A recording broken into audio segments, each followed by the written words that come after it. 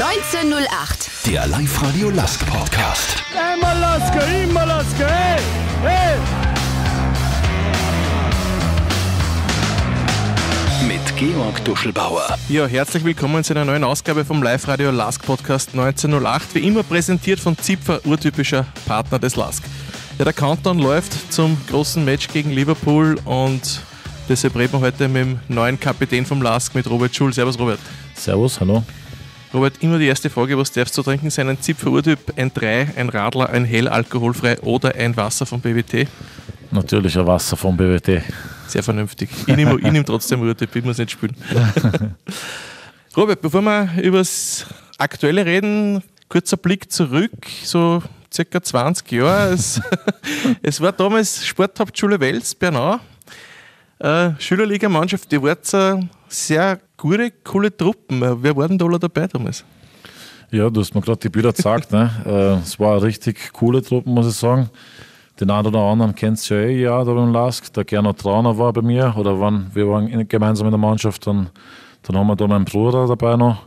Dann haben wir da noch äh, Husbeck, Felix. Und äh, glaube jetzt die anderen sind jetzt nicht so ein großer Begriff. Aber war auf jeden Fall eine coole, coole Einheit, ja. Ihr seid damals Bundessieger, waren sogar in der Halle gegen BRG Wien Polkerstraße, wo ein eher unbekannterer Spieler wie David Alaba mitgespielt hat. Äh, wie war das damals? War das, das war schon eig- eigentlich ein Highlight, weil die haben eigentlich immer alles niedergespielt, die Wiener damals, oder? Ja, ich muss sagen, wir waren äh, natürlich damals, wo wir uns dann qualifiziert haben fürs Finale, war das natürlich ein Riesenspiel für uns. Äh, und wir haben gewusst, dass wir eigentlich gar keine Chance haben gegen die Wiener. Und äh, ich kann mich jetzt gar nicht mehr so genau erinnern an das Finale, aber äh, mit unserer geilen Truppe haben wir es dann irgendwie geschafft, dass wir es gewonnen haben und äh, war natürlich eine Riesenfreude danach. auch. Du warst Torschützenkönig sogar. Ich habe nämlich Videos gesehen davon. Okay. Robert Schul mit Nummer 11, Torschützenkönig. Und äh, euer Trainer damals, oder euer Lehrer, der Hattinger Horstl, wirst du dich noch vielleicht erinnern können? Ja, Klar, kann ich mich noch lange rote Haare. kann ich mich noch erinnern, ganz genau, ja. Der ist jetzt äh, in Wagrein, dort äh, Lehrer an der Hauptschule und der hat mir was geschickt. Okay. Ja, hallo Robert, äh, da ist der ehemalige Lehrer. Ich hab gerade ein Training am Fluss mit meinen Kindern. Erinnern kannst du dich sicher noch. Ich freue mich extrem, dass so viel von der damaligen Schülerliga so erfolgreiche Sportler geworden sind. Unbeschreiblich, ich bin irrsinnig äh, happy, dass ich euch eine Zeit lang äh, mitbegleiten hab dürfen. Äh, lustige Anekdote, ich bin ja stolz, dass du jetzt äh, Kapitän beim LASK bist. Schülerliga-Kapitän warst du ja bei mir auch. Ich kann mich noch erinnern, ich bin damals ins Konferenzzimmer gekommen und da haben sie geschimpft, dass ich dich als Schülerliga-Kapitän nehme, weil ich mir deine, deine schulischen Leistungen sind nicht passend, haben sie gemeint. Ne? War Kollegin, äh, ich würde den Namen nicht nennen, du kannst das vielleicht eh vorstellen. Und dann habe ich gesagt zu der Kollegin, ich, jetzt pass einmal auf, habe ich gesagt. Ja? Und vor der habe ich mich selber gefürchtet. Sage ich, der Typ, der Bursch ist genial. Ja? Der kann Sachen, die kennt ihr alle miteinander nicht und ihr werdet sich alle miteinander anschauen. Das ist göttlich, was der auf, auf der macht auf, auf die hundertstel Sekunden am Pass. Äh, da habt ihr keine Ahnung. Das ist Kreativität, das ist Power. Lange Rede, kurzer Sinn. Die Kollegin war dann natürlich angefressen, hat dann irgendwie das Klassenbuch am Tisch gehauen und hat gesagt, Ja, wirst du schon singen? Ich will es schon singen. und ich habe gesagt, ja, ihr werdet es schon sehen. Ja. Äh, Tatsache war, dass du, glaube ich, mit mir, also so viel mich erinnert, hast du mit mir zweimal die Bundesmeisterschaft gewonnen. Auf jeden Fall, wir waren hoch erfolgreich und du bist hoch erfolgreich geworden. Das ist unbeschreiblich, was du natürlich damals auch Sport gemacht hast, weil du bist ja auch so viel, warst in unserer Schule damals Bundesmeister und wir waren im Basketball und in der Mannschaft in der Leichtathletikmannschaft, überall hat man die braucht. Und heute ist es so, heutzutage ist es so, dass wenn die Kinder am Vormittag eine Stunde turnen dann und am Nachmittag eine Stunde Fußballtraining haben, dann haben die Eltern schon Angst, dass in einen Burnout kommen oder sonst was. Und ich sage dann öfter, hey Freunde, ich meine, ich kenne Spieler, eben wie die Robert, die haben sechs Stunden am Tag Fußball gespielt und dann wollten sie in der Mittagspause nur Fußball spielen. Ein Wunsch von mir war, dass der Trauner, du und dein Bruder, der Peter, einmal gemeinsam in einer Mannschaft spielt noch. Das, war halt da was, was man ich wünschen darf, aber ich habe ja nicht viel zum Sagen. Aber das war halt noch mehr eine Geschichte, da schauen sie die anderen an. Hey, mach's gut, alles Gute für die nächste Zeit, verletzungsfrei bleiben, auf den Körper schauen, das wird immer wichtiger, das wirst du sehen. Was ich da jetzt so gesehen habe bei den letzten Matches, ist bei dir noch nicht die Pension angesagt, sondern da wird noch, wir haben noch ein paar spannende, erfolgreiche Jahre. Hey, macht's es gut, ciao, viel Spaß. Wahnsinn, Wahnsinn, ja. Da kommen Erinnerungen auf, oder? Extrem, ja. Äh, erstmal ja, danke für, für, für die Nachricht. Äh, ganz lieben Gruß zurück. An die, alter, alter Trainer. äh, ja, nein, es war eine unglaubliche Zeit, muss man ganz ehrlich sagen. Und er hat recht, wir haben damals wie Verrückte, haben wir eigentlich nicht lernen wollen, sondern nur Sport machen wollen. Und egal, wo was mit äh, Ball zum Spielen war, wollten wir eigentlich dabei sein. Speziell ich und mein Bruder weil uns die Schule natürlich nicht interessiert hat, weil wir eigentlich immer nur Fußball spielen wollten oder halt irgendwas oder Basketball spielen oder Volleyball ist eh ist egal. Letztendlich äh, bin ich ja sehr dankbar über die Zeit, weil der, der Horst wirklich zu der Zeit auch schon ja, das erkannt hat, was vielleicht der eine oder andere nicht erkannt hat. Und von dem her, ja, Dankeschön für, für die Nachricht und lieben Gruß und hoffentlich sehen wir uns bald in der Raiffeisen Arena. Du hast Basketball auch gespielt, interessant. Also aus Fußball war doch immer äh, Nummer eins, oder wie? Ja, hm. nein, unsere Eltern, die, die waren ja auch sportverrückt und meine Mutter hat ja Handball lang gespielt und dann irgendwann einmal Fußball und mein Papa war sowieso Fußballer und Fußballtrainer. Von dem her war das bei uns in der Familie, du hast einfach keine andere Chance gehabt, dass du irgendwas mit Ball hast aussuchen müssen. Und äh, wie gesagt, damals in der Schule war es halt, äh, ja, Basketball auch irgendwie interessant, weil wir waren auch zu der Zeit schon ein bisschen größer und, und, und werfen haben wir sowieso Kinder, wenn wir das, äh, wenn, wenn wir nicht Fußball gespielt haben, haben wir Basketball gespielt. Von dem haben wir das auch ein bisschen beherrscht. Und äh, wie gesagt, egal in welche Richtung es gegangen ist, damals in der Sportabschule, wir wollten einfach immer dabei sein und es war eine Riesenfreiheit mit, mit solchen Lehrern wie mit Horst, äh, ja, dass wir zusammengearbeitet haben. Gut, dann schauen wir ins Hier und Jetzt und auf das Aktuelle. Äh, Robert, äh, der Thomas Sagero ist als Trainer gekommen mhm. und nachdem der Alex Schlager ja weggegangen ist, hat es einen ne-, neuen Kapitän geben müssen. Der Thomas hat zuvor gesagt, mein Kapitän ist der Robert. Mhm. Äh, inwieweit war das für dich dann doch eine Ehre, dass der Trainer sofort gesagt hat, hey, du bist das? Ja, schon extreme Ehre. Das habe ich ja damals äh, vor, vor der Mannschaft gesagt. Ähm, ich, ich kenne ihn Thomas äh, eben von, von der Rehrzeit noch.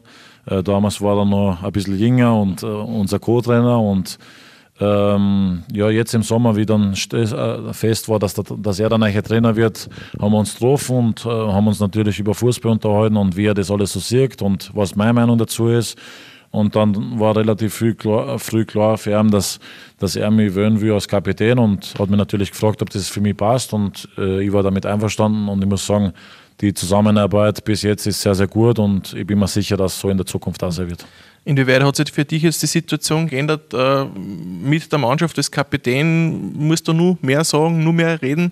Oder kommt das einfach selber dann Äh, ja, du musst, du hast halt öfter Besprechungen, natürlich will der Trainer äh, öfter mit dir reden, das ist ganz klar. Aber für mich hat es jetzt nicht so viel verändert, weil im ersten Jahr äh, war es auch schon so, dass, ich, dass, ich, dass der Verein von mir Verantwortung haben wollte, dass ich in gewissen Phasen auch vorangehen muss, dass speziell wenn es dann schwierigere Phasen gibt, die was letztes Jahr Gott sei Dank nicht so oft gegeben hat, ähm, auch vorangehen muss. Und von dem her ähm, ist jetzt nicht so viel neu für mich natürlich eine riesen Erde und ich freue mich und wir haben eine super Mannschaft und einen super Mannschaftskern und, und einen super Mannschaftsrat und, und wie man sieht, nach einem schweren Start kriegen wir das äh, wieder hin, dass, dass wir wieder gewinnen und dass wir wieder gut spielen und dass wir nie auseinanderfallen und von dem her spricht das für die Mannschaft und für mich ist das auch keine große Arbeit nicht. Du bist natürlich einer von den erfahreneren Spielern. Es sind einige junge Spieler Dazu kommen vielversprechende Spieler. Inwieweit bist du da als Kapitän auch in der Verantwortung, dass du die mitnimmst, mittragst und einer sagst, äh, in welche Richtung das geht? Ja, auf jeden Fall, aber ich glaube, da ist jeder Spieler von uns gefragt. Ähm, von dem her, dass für, für Ausländer kommen sind, dass man sich natürlich das eine oder andere mal hinsetzen muss, einer helfen muss äh, mit Wohnungssuche und so weiter und Integration. Und ich muss sagen, aber die, die Spieler, die schon länger dabei sind, die machen das auch überragend. Von dem her, ich habe jetzt da gar nicht so viele Aufgaben und äh, trotzdem werde ich immer wieder da sein für jeden, das habe ich auch schon gesagt. Und äh, man muss sagen, dass wir Top-Spieler, top-junge Spieler dazu gekriegt haben, die natürlich nur ein bisschen Zeit brauchen. Aber ich bin mir sicher, dass am Ende des Tages dann auch das, was der Verein erwartet, auch kriegt von einer. Und das sind super Jungs mit einem super Charakter. Und äh, man kann, es gibt keinen Fall, wo ich jetzt sagen muss, boah, bei dem, der ist ein bisschen schwerer. Schauen wir auf die bisherige Saison in der Bundesliga, sind sieben Runden gespielt, 14 äh, Punkte, eine Niederlage und die gegen Sturm, wo man natürlich sagen, gut, kann man verlieren. Mhm. Ich habe trotzdem immer so das Gefühl, ein bisschen, ihr habt sehr viele Punkte geholt, habt nur eine Partie verloren und immer wieder, ja, aber die müssen doch viel besser spielen irgendwie. Aber ich weiß nicht, mhm. wie, wie ihr das mitkriegt. Ja, obwohl, obwohl ja die, ja. die Punkte da sind. Ne? Das Gefühl haben wir, oder das, das kriegen wir auch natürlich mit. Verstehe nicht ganz, muss ich ganz ehrlich sagen, weil äh, nach dem schweren Start, dass du dann 14 Punkte aus Dritter bist, äh, dann kann man schon von einer Euphorie sprechen und ich würde mir halt wünschen, dass speziell da in der Region, dass man das auch anerkennt. Wir sind der Lask, wir sind nicht Rapid, wir sind nicht die Austria. Bei uns steht nicht irgendwo, dass wir da Top 3 spielen müssen. Das ist für uns noch immer äh, eine Wahnsinnsleistung und ich glaube, dass man, dass man das schon anerkennen sollte und, und da, dass man ein bisschen die Jungs unterstützen soll, weil wie gesagt, das Gefühl, das, das hat der andere, Spiel, andere Spieler in der, in der Kabine auch, beziehungsweise in der Mannschaft und ich würde mir einfach da wünschen, dass wir da mehr anzahlen, dass man Klar sind, sind wir Spieler auch enttäuscht, wenn wir verlieren und wenn wir nicht gut spielen. Aber auf der anderen Seite, wenn wir gewinnen, dann kann man mal ruhig sagen, dass wir gut gespielt haben und dass man, dass man verdient gewonnen hat. Und ich würde mir sowieso wünschen, dass wir viel mehr Euphorie haben rund um den Verein, weil ich denke, mit unserer Raiffeisen Arena, mit unserer Fanbase, mit der Mannschaft, mit den jungen Talenten, da kann so viel entstehen, da ist so viel Potenzial vorhanden. Und wir, natürlich muss, ist die Mannschaft in der Pflicht, aber ich sehe gar, dass jeder drumherum da sein Maximales geben muss, dass wir letztendlich eine große Nummer in Österreich werden. Das Potenzial haben wir, das haben wir mit dem Stadion, mit den Fans, mit der Mannschaft, mit den Leuten drumherum, um, um, um das Team, dem Trainerteam, Sportdirektor, alle drumherum, das passt alles. Und ich würde mir einfach wünschen, dass wir mehr Euphorie noch reinkriegen in den Verein und, und dann denke ich, dass wir in Österreich eine sehr, sehr große Nummer sein können. Wie siehst du euch, wo seid ihr im Moment? Man geht natürlich immer besser. Der neue Trainer kommt, der will ein bisschen anders spielen, dann ist natürlich noch ein paar Runden die Systemumstellung, jetzt wieder mit Dreierkette, mhm. was natürlich alles ein bisschen anders ist. Ähm, wie gut läuft das aus deiner Sicht schon? Ja gut, ich glaube, der Trainer hat es ja schon oft gesagt, dass wir von einem Prozess reden und der Prozess ist nicht abgeschlossen, wenn du zwei Spiele gewinnst oder drei, drei Spiele gewinnst. Und das heißt, wir müssen natürlich weiter hart arbeiten. Wir müssen das, was der Trainer von uns fordert, nur besser umsetzen, weil wir trotzdem, trotzdem dass wir jetzt zum Beispiel in Klagenfurt gewonnen haben, wieder äh, Szenen dabei haben, wo wir natürlich uns verbessern können und müssen, damit wir letztendlich auch dann Spiele, solche Spiele wie in Klagenfurt, nur souveräner gewinnen. Und von dem rede ich ja. Wir haben nur einen, einen, einen richtigen Prozess vor uns, aber wir sind am richtigen Weg und das stimmt mir positiv. Wie siehst du allgemein jetzt nach sieben Runden diese Liga? Ich meine, ihr habt jetzt gegen Klagenfurt gespielt, man darf nicht vergessen, die haben vorher noch kein Spiel verloren gehabt. Mhm. Also sind auch sehr, sehr gut gestartet. Äh, fahren wieder Salzburg Sturm, dann kommt der Lask und ja, inwieweit äh, hat sich schon da was herauskristallisiert nach diesen sieben Runden, wo die Mannschaften so ungefähr stehen? Naja, ja, die momentane Tabelle sagt es natürlich, was du gerade gekriegt hast. Ähm, und trotzdem sage ich immer wieder, in der Liga musst du extrem aufpassen, weil mit zwei Siegen bist du dann wieder irgendwo vorne dabei. Und wenn du dann zweimal wieder verlierst, dann sind wieder alle schnell wieder äh, da. Von dem her, wir müssen immer schauen, dass wir jetzt natürlich mit den internationalen Spielen, dass wir mit den großen Kader immer wieder schauen müssen, dass wir eine gewisse Frische kriegen und dass wir mental bereit sind, dass wir jeden dritten Tag spielen. Das ist die Hauptaufgabe, die wir in der Saison haben werden, neben dem ganzen Prozess, neben den ganzen äh, Spieler integrieren, junge Talente. Äh, von dem her glaube ich, dass das eine sehr, sehr intensive Saison wird. Und dass wir jetzt schon irgendwas von, von herauskristallisieren, sprechen, das ist für mich noch ein bisschen zu früh. Du hast das eh gerade angesprochen, man muss mental fit sein, jeden dritten Tag ein Spiel, man muss natürlich auch körperlich fit sein. Äh, wie gut seid ihr benannt für, die, für diese Aufgaben jetzt, wo es wirklich Schlag auf Schlag geht?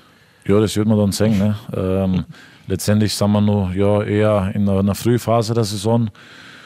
Und äh, man muss sagen, dass wir Gott sei Dank bis jetzt, äh, ja, die letzten vier Spiele, glaube ich, jetzt äh, jedes Mal mit derselben Startelf gespielt haben und wir immer wieder Spieler, die was jetzt einen Rückstand gehabt haben, wieder an die Mannschaft herangeführt haben und äh, jetzt die Konkurrenzsituation natürlich auch sie ja, da muss man sich erstellen und, und die ist auch groß und äh, ich muss aber sagen, riesen Respekt an jeden in der Mannschaft, die, die machen alle mit, die sind Vollgas dabei und auch wenn jetzt der eine oder andere enttäuscht ist, äh, bin ich mir sicher, egal, wenn es dann darauf ankommt, dass jeder dabei sein wird und dass jeder Vollgas geben wird und das, das zählt letztendlich. Hat sich durch die Systemumstellung oder wie jetzt der Thomas äh, spielen lassen will, für die groß was geändert, sage ich mal, für, für die Position? Ja, natürlich, weil, ja, wie man sehen will, unser System, ne? man kann sagen, ich spiele jetzt auf der 10 und wir spielen mit zwei Stürmer oder ich bin mhm. der Einer und wir haben zwei Außenstürmer. Das ist von Spiel zu Spiel ähm, ja, verschieden. Äh, natürlich hat sich was verändert, weil wir natürlich mit, mit, mit unserem neuen Trainer weiter vorne anlaufen wollen. Wir wollen mehr Ballgewinne vorne haben, wir wollen mehr Umschaltsituationen haben, wir wollen intensiver spielen. Das ist ja ganz klar. Und von dem her hat sich, glaube ich, für jeden Spieler von uns im Kader was verändert, weil wir spielen nicht mehr das 4-2-3-1, sondern das 3 oder 5-3-2. Und ähm, von dem her hat sich was verändert, aber ich glaube, dass wir das gut angenommen haben die letzten Wochen und wollen natürlich uns nur verbessern und da weitermachen. Als Partner des LASK interessiert uns nicht nur, wer gewonnen hat. Denn wir sind LASK. Genau wie du. Urtypisch Zipfer. Ja, Robert, dann reden wir über das ganz, ganz große Highlight. FC Liverpool kommt nach Linz in die Raiffeisen Arena und spielt gegen Lask. Vor ein paar Jahren äh, ja, hätte man gedacht, ja, vielleicht ein Vorbereitungsspiel im Sommer. Jetzt ist, die, jetzt ist es die Europa League. Äh, wie war das eigentlich in der Mannschaft, wie ihr von der Auslosung erfahren habt? Wie, wie habt ihr das verfolgt? Ich glaube, ihr, seid sogar aus Mostar zurückgekommen und habt Genau. trainiert oder was. Äh, wie war das da?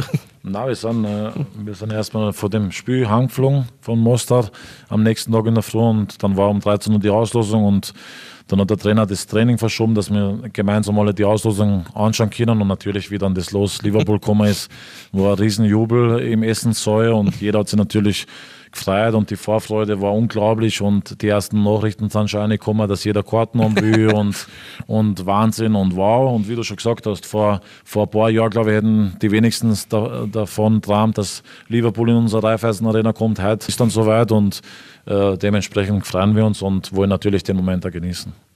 Jetzt ist natürlich Liverpool der große Favorit, braucht man nicht, braucht man nicht diskutieren, wenn man schaut, dass die werden wahrscheinlich auch mit wahrscheinlich der stärksten Aufstellung spielen, weil es ist, die, ist das erste Match in der Europa League. Ich habe mit einem äh, Kollegen geredet aus Liverpool, der macht dort einen Podcast, der hat gesagt, na, Van Dijk spielt sicher, weil der war jetzt gesperrt in der Meisterschaft.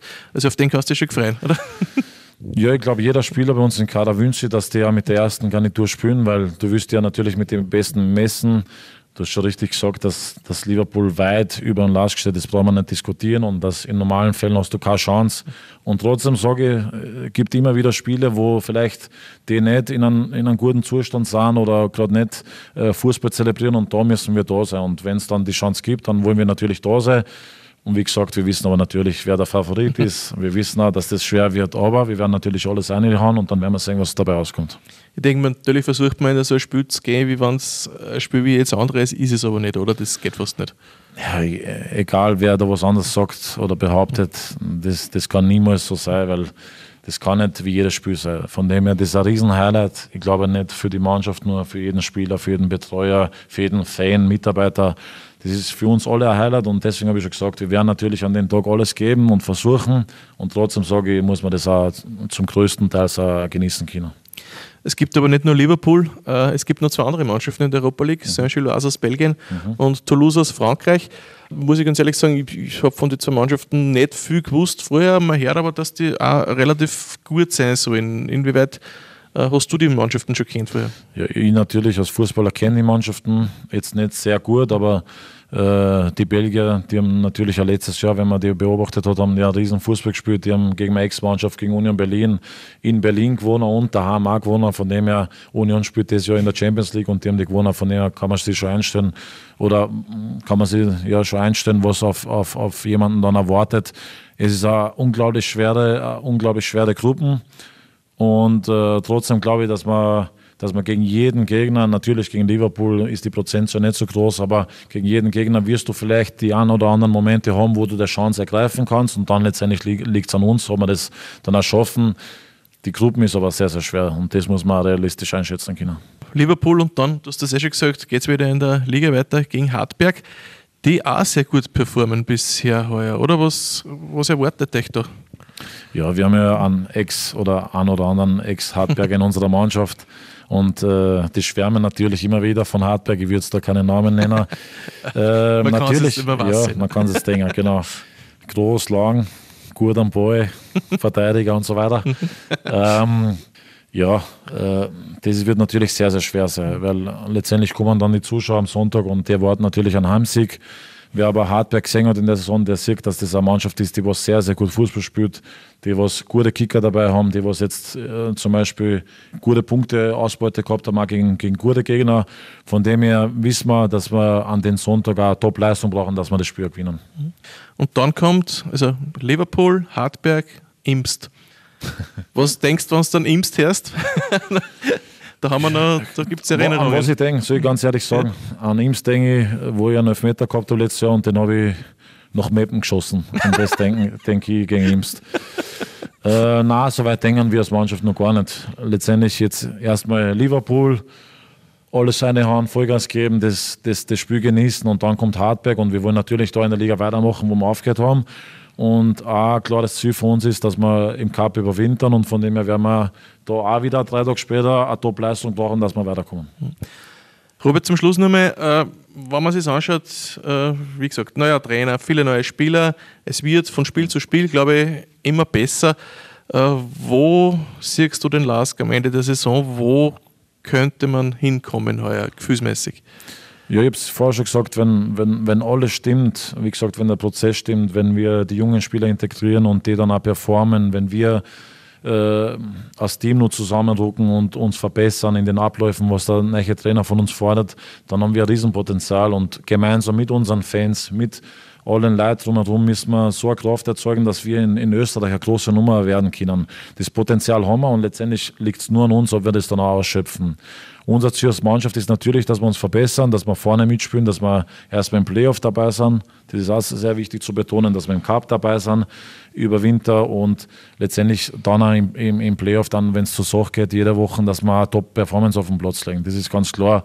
Äh, wir wollen natürlich die Saison nutzen, dass wir das bestätigen, was wir letztes Jahr erreicht haben und, und dann sehen wir, eh, für was es reicht. Robert, dann sage ich herzlichen Dank, dass du Zeit genommen hast. Sehr gerne. Wünschen alles Gute gegen Liverpool. Äh, genießt es auch, weil solche Spiele haben wir nicht alle Tage. Ich glaube, das wird ganz ein besonderer Abend. Ja, danke vielmals. Ja, natürlich danke auch an euch fürs Zuhören wieder. Wenn ihr auf www.liveradio.at auf Gewinnspiele geht, könnt ihr wieder für den Urtypen oder die Urtypin des Monats September abstimmen. Wer ist euer Spieler oder eure Spielerin des Monats September? Am Ende des Monats gibt es für drei Gewinner wieder eine Kiste Zipfer Urtyp. Den Live-Radio Last Podcast 1908 gibt es auf unserer Website www.liveradio.at, in der App und auf Spotify. Falls ihr Fragen habt, einfach eine E-Mail an podcast.liveradio.at schicken. 1908. Der Live-Radio Lask Podcast.